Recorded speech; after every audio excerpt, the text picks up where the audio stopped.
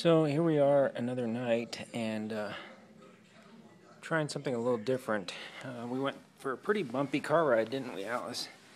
And um, then we sat in the carrier for a good long time. And I removed the litter box from the area since that seemed to be his area that he was protecting. And um, that's probably going to mean that I get some accidents on the rug, but that's the way it goes.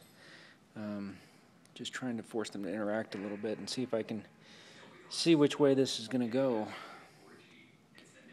I think, um, okay, Alice, that's nice. We all know you can do that. I think that he's just not wanting to participate for some reason today. Are you? You have something on your eye, buddy. And I don't know what it is, really. Um, I think that there was an initial attraction for sure, but I haven't really seen any positive signs out of him since then. And um, Alice is doing all the work, trying very hard to make this work, but she can't do it all on her own. What is that on your eye, buddy? You got a little bit of a something there. Somebody needs to lick you there. That's what's going on. He's got a little bit of drainage on his eye. I don't know if he had that has had that before. He was having some sneezing fits last night. But seemed to get over that just fine. Is it okay now, buddy? Yeah. We'll have to keep an eye on that eye and see if we get drainage out of it. Um, he's not. He didn't eat as well tonight as I would like him to. So we'll also keep an eye on that. You gonna sit over there?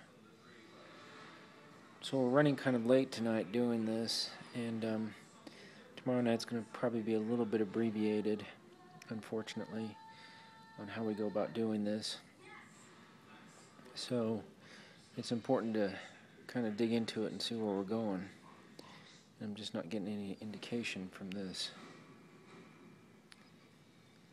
So, still pretty neutral on the whole situation. What did you get there, sweetheart? Did you do that or did somebody else do that? No, it's not wet, it just looked funny. I don't know, Mr. Chou, what do you think? We can move you over there.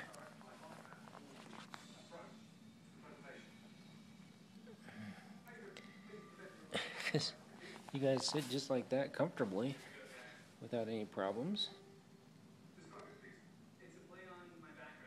And then she gets frustrated with you.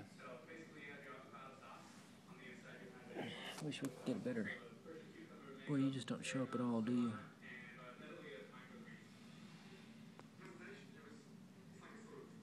Just can't seem to even get your eyeball. Yeah, a little bit there. A little bit there. Yeah, it's kind of comfortable to be next to her, isn't it? Isn't that a lot more fun than being by yourself? And see how she's closing her eye and relaxing a little bit. That's good. If you would just reach up there and groom her, this would all be over. You think you can do that? That's all you need to do, buddy. And it would all be over. She'd be yours then.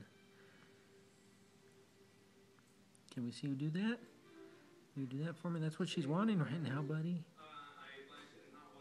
No social skills at all, huh? No social skills at all for Mr. Chou Chou. Gotta figure it out, buddy. It's probably the problem you've been having all along. She's giving you a lot of signals and you're just not figuring it out. But we'll keep working at it and see if we can get you to. Wish you had a licky spot. That would help. But you don't, do? I don't think you do. Is she? Probably not. She's just a little round furball when she gets nervous.